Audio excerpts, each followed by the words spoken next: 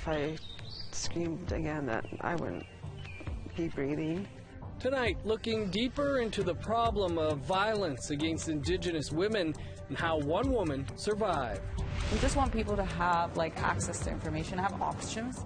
Helping women prevent homelessness and exploitation on the streets of Montreal. As soon as uh, the men's fancy came on, my mom would wake me up. Hey, they're dancing. I'd watch. I'd get my bustles on, get my headdress on, my rockers on. And passing a family tradition on to the next generation.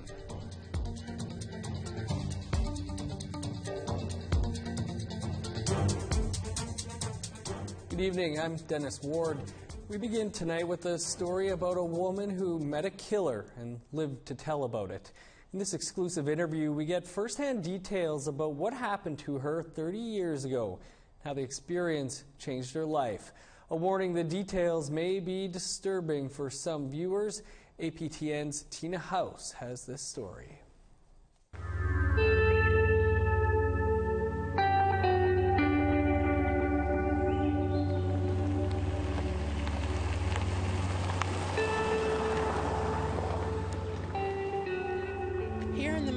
Just outside of Chilliwack, BC, this area is popular with locals who want to hike along the many trails. But for Dorena Green, it's a foreboding place. It's taken her 30 years to finally be able to talk about what happened here when she was just a teenager. Well, I was a 15 year old runaway and I was not listening to my parents and was staying with friends at the time and um, just doing my own thing and experimenting with alcohol.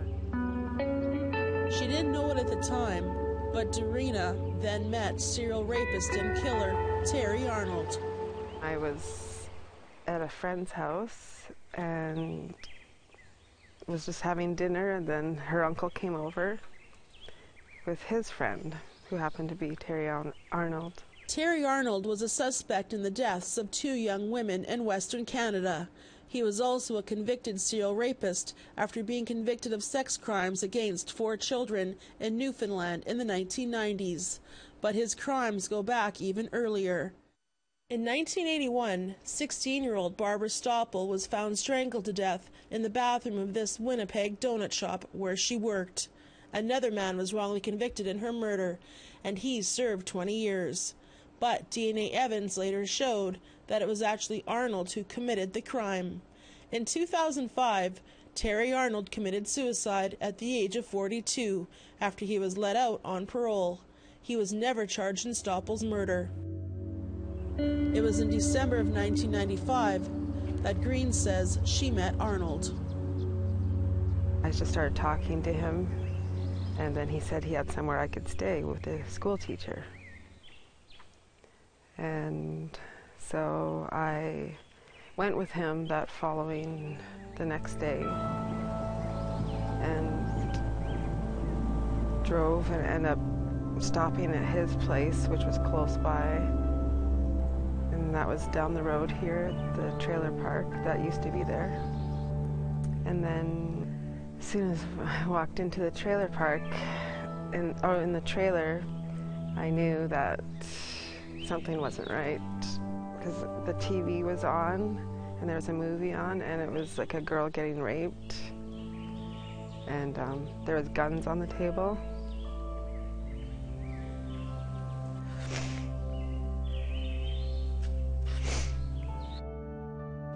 Green says she found herself trapped.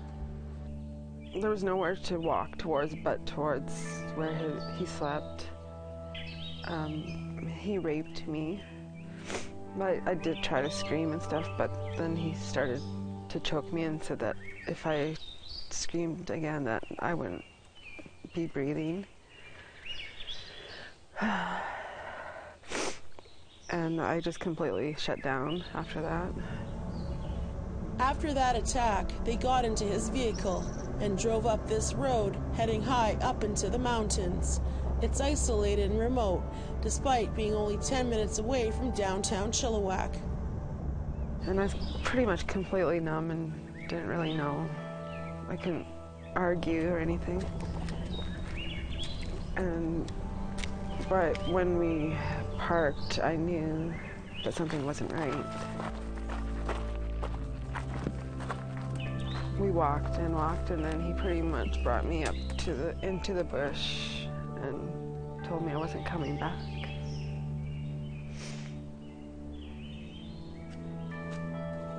He had his arm around my neck, like to choke me, and um, I pretty much begged him that I would not say anything. And he told me some stories about himself and stuff that he can't go back, that he can't go to jail, and that he's done things to other girls. I just pleaded and I, I didn't struggle or anything. I didn't try to run away. And then he raped me again. And he, he, uh, he let me go. No one will ever know why he let her go.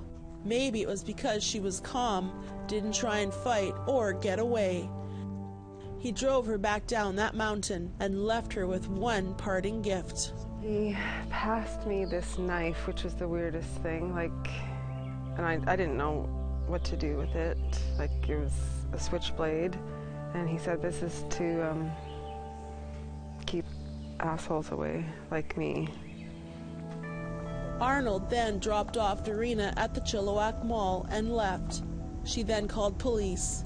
It went to trial, but the judge said there wasn't enough evidence. In 1991, Terry Arnold also killed 16 year old Christine Brown from Kimberley, BC, murdering her on top of a mountain near Hedley, BC. He was charged in her death in 1999 and sentenced to life imprisonment. However, he won a second trial after arguing that documents were not available to him during the first trial. Charges were eventually stayed, and after serving only five years, he was freed in 2002. All these years later, she says she still wishes that justice could have been served before he took his own life. I do feel absolutely horrified and upset that those girls are gone, but I had to forgive. And um, I wish that he didn't kill himself, so he, something could be done about those girls. Today, she's the proud mother of three kids and four grandkids. She has also immersed herself into art, which she considers therapeutic. She's also relied on traditional healing to help her deal with the trauma of what happened to her. And still to this day, she says she's still not really sure why she survived, but she's really thankful that she did. She believes someone was looking out for her. And during this interview, something incredible happened. The deer symbolizes my mother. I think of my mom as a deer because um, when she passed, I went up to her grave and there was a deer. Tina House, APTN National News, Chilliwack. What a story. A dozen people have been dangling from a British Columbia bridge in protest against the Trans Mountain Pipeline. That story and much more coming up after the break.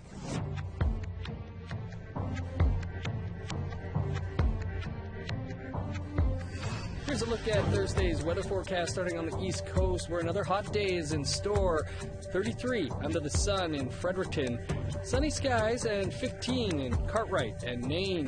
The heat wave continues in much of Quebec, but with showers 30 in Montreal and Chibougamau, 33 in Quebec City, even warmer in parts of southern Ontario, 35 in Toronto with rain, 33 in showers in Ottawa, rain, and 33 in Sudbury, 25 under the sun in Thunder Bay. To northern Manitoba, 22 under sunny skies in Flin Flon in the Pas, 25 in Dauphin and Gimli Harbor, 23 in Winnipeg. In Saskatchewan, 25 in Estevan, Regina, Saskatoon, and North Battleford, 24 in Meadow Lake, Buffalo Narrows, Stony Rapids, and Uranium City.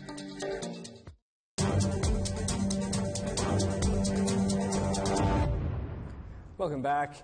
Kinder Morgan has just announced their construction schedule for the Trans Mountain Pipeline Expansion Project. However, it may not go as smoothly as they planned. APTN's Tina House has the story. Greenpeace, along with members of the Coast Protectors, have taken protesting the Trans Mountain Pipeline to new heights. Two days ago, seven people, including Tsleil-Waututh Nation member Will George, scaled underneath the Second Narrows Bridge and rappelled down. This Facebook Live video was posted while Will is still suspended midair. Well, very excited to be here. You know, you could see uh, the, you know, folks behind me with their streamers. So, um, you know, very proud to be here too, as well. A lot of mixed emotions uh, being here. With specialized hammocks, food, water, and cell phones, they say they will stay as long as they can to prove their point. They say that this tanker is fully loaded with Kinder Morgan's oil, but can't leave due to the aerial protest. However, Kinder Morgan denies that this has hindered any of their operations. So for now, the seven people remain suspended in the air, showing that they don't want the project to go through. Sarah Cadeau has come to lend her support and sing some songs. They're risking their lives right now to let Trudeau know that under no uncertain terms will we pay for a carcinogenic bitumen pipeline that will expand. And the same day the protest started, Kinder Morgan announced its construction schedule, starting from July 2018 to 2019. The company says 290 kilometers of pipeline will be built in central Alberta, along with the clearing of trees and surveying. In the North Thompson in British Columbia, an additional 120 kilometers of pipeline will be constructed between Mount Robson Park and Blue River. And then finally, further construction will continue at the Westridge Dock in Burnaby, the building of the Burnaby Mountain Tunnel, and Sumas Tunnel in Abbotsford, BC. For Will George, protecting the water means everything, and he has a message for Prime Minister Trudeau. This is not good for our economy. You know, this is not good for the environment. Uh, we, we hold the biggest risk. You know, look at this body of water behind us. You know, I, I think I mentioned you. You say, you know, people love it here. You know, that's why I do what I do. You know, hanging underneath this bridge, vehicles driving by, people going to work, going to their homes, going to their families, what they love, what they adore. That's exactly why I'm up here. And just as the story went to air, RCMP are moving in to remove the protesters. Tina House, APTN National News, Vancouver. And we'd like to hear what you have to say about this or any other story. Here's how to contact us. Send an email to news at aptn.ca, like our APTN National News Facebook page. Follow us on Twitter at APTN News or go to our website, aptnnews.ca.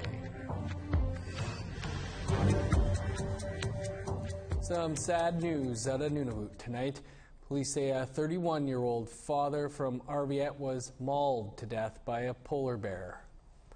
It happened Tuesday night on Century Island in Hudson Bay. Relatives say Aaron Gibbons was unarmed and protecting his children when the bear attacked. Nunavut RCMP say the bear was put down by others who saw what happened.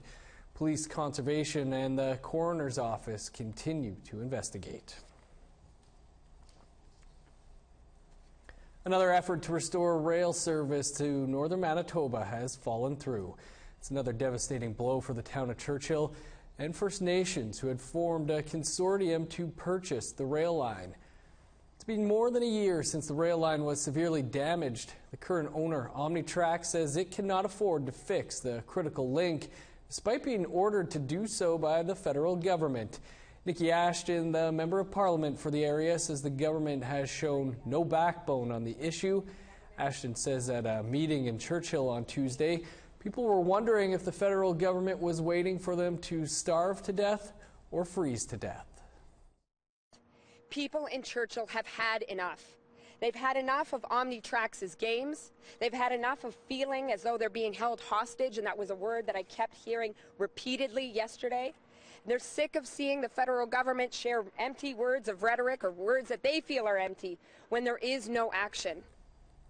Winnipeg Transit says it's investigating after a bus driver allegedly ignored an unconscious Indigenous man lying on the floor and continued along on his route. A nurse spotted the man as she boarded. The nurse could not understand why the bus driver continued on along the route as if the man was not in distress. She called 911 and the driver pulled over so first responders could meet the bus. According to the nurse, the driver complained about the delay it was all causing on his route. It makes me nervous because what if I hurt myself on the bus and fell to the floor? I wouldn't get any help. Like people would just step over me or what, right? Like it was just really like that really bothered me, you know. Like, Iskweu is Cree for women. It's also the name for an initiative in Montreal that aims to prevent Indigenous homelessness before it happens. Tom Fenario has that story. So um, we have this bag, the Iskweu Project. For 15 years, Jessica Quijano has worked with Montreal's most vulnerable gives a lot of citizens. Now with the Iskweu Project, she hopes to reach them before their situation becomes dire. that there's a lot of Indigenous people who come here to the city and they're not aware of all the services that are available. And we really want to do a lot of prevention so that um, men and women don't end up in situations of like extreme poverty or homelessness. Montreal's homeless population is disproportionately indigenous. Many come to the city through its main bus terminal, where Quijano says they can now pick up this care package. We have our little medicine pouch. Medicine aside, the kid is less concerned with the spiritual than the practical. A public transit ticket, phone card, and map with indigenous resources on it are just some of the items inside, as well as a lipstick case that is not what it seems. So it's a lipstick, but it's actually um, a little thing that opens up. And there's all the, it's in, a, this one's in Inuktitut, and it gives all the organizations to contact, Indigenous organizations. So The reason for the lipstick container's discreetness is to keep it hidden from prying eyes. Um, Quijano says indigenous women are too often targeted by abusers and pimps. A lot of the times I find that people don't necessarily know the resources, and it's really unfortunate. The guidebook located in the bag has a non judgmental section on sex work. It emphasizes how women should get out if they are being abused or exploited before it's too late. Do you, um, do you like it here? Not really. Siasi Tullaugak was 27 when she died last August. The Inuk woman from Puvirnituq in northern Quebec had been living in Montreal for only four and a half months. She fell into drug addiction and the sex trade before her violent death. At this vigil for Siasi, many spoke of the toll Montreal's streets are taking on vulnerable Inuit. Look after yourself. It's enough. Enough is enough. Originally from Manitoba, Debye is a Plains Cree outreach worker. He's one of the people listed in the Iskweu pamphlet. He says Montreal can be a tough city to navigate when coming from a smaller community, and he intends to hand out the Iskweu kit to many of his clients. I'm here to help facilitate um, and um, help this uh, transition and also maybe make the community stronger and more educated. As someone who knew Siasi Tullaugak, Quijano hopes the kit can save lives. We just want people to have like access to information, have options, because a lot of the times I find that people don't necessarily know the resources, and it's really unfortunate. The Iskweu Project Toolkit hopes to eventually expand to the airport. For now, it can be found at the bus station and with outreach workers on the streets. Tom Fenario, APTN National News, Montreal. Smart idea. Time for a quick break and then a story brought to you and us by students from the First Nation University of Canada.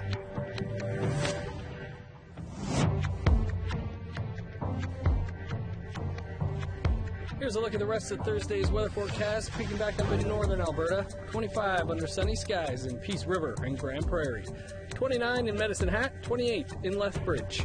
Things are heating up in the BC interior, 32 under the sun in Kamloops and Penticton. 25 in Prince George, Smithers, and Fort St. John. In the Yukon, 22 for Dawson City and Mayo. Warming up in NWT, 28 in Fort Liard, 27 in Fort Simpson and Wrigley. Much cooler to the north, plus 2 in Sachs Harbor, a cloudy high of 7 above in Paulatuk. In Nunavut, 19 for Arviat and Whale Cove, 12 in Cape Dorset, 9 in Iqaluit, plus 2 in Resolute.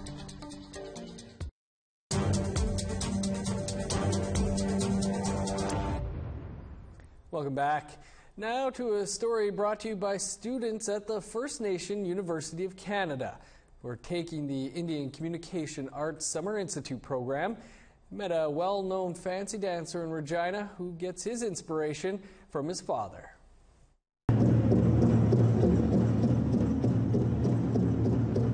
This is the story of a youth who dreamed of being a champion fancy dancer, like his father. You, you know, in the non-indigenous world, you have these rock stars, you have all these people that you look up to. To us Indian kids, you want to be a men's fancy dancer. Langan Goforth is starting a new job. His role is to lead the University of Regina to indigenization. He is the first cultural and traditional knowledge keeper at the university. My job is to assist the faculty, staff, students um, in bringing Indigenous content into the classroom. I follow protocol, uh, what I was taught uh, from my my family, from my elders, and I, I use all those teachings and I bring all of those teachings to my job here. But this is not his only job. Goforth is a famous fancy dancer. He travels the international powwow circuit. He's proud to showcase his culture to the world. And that bond still exists at the First Nations Gallery, because Les Goforth has been immortalized there for 25 years. That's my dad. It's a lifelike, I guess, mold of who my dad was. Uh, it's his face, it's his body, and he's uh, in a traditional dance, men's traditional dance uh, regalia. One of his fondest memories was waiting for the chance to dance with his father. You know, I think I was seven, eight years old. I'd fall asleep with my outfit on. As soon as uh, the men's fancy came on, my mom would wake me up. Hey, they're dancing. I'd watch. I'd get my bustles on, get my headdress on, my rockers on. Wait for that special song, and then I'd go out and I'd dance. And you know, um, that's where I, I enjoyed my time dancing with dad. Dancing with my father, and I, you know, I grew up doing that for my junior years, my teen years, uh, into my adult years, and it's something that I do to this day. Although his father is no longer alive, Goforth continues to feel his influence today. When I get lonely, you know, when I want to reminisce and uh, think about, you know, some of the teachings or just, you know, everyday questions that I may have in life, being a father myself, it's almost like he's alive as well here physically. I can come here, I can talk to him. You know, a lot of people um, that looked up to him, they come here. He'll come here and there'll be tobacco offered here at, at the display. He'll come here and you'll see maybe uh, a bowl of soup, maybe some berries that are offered.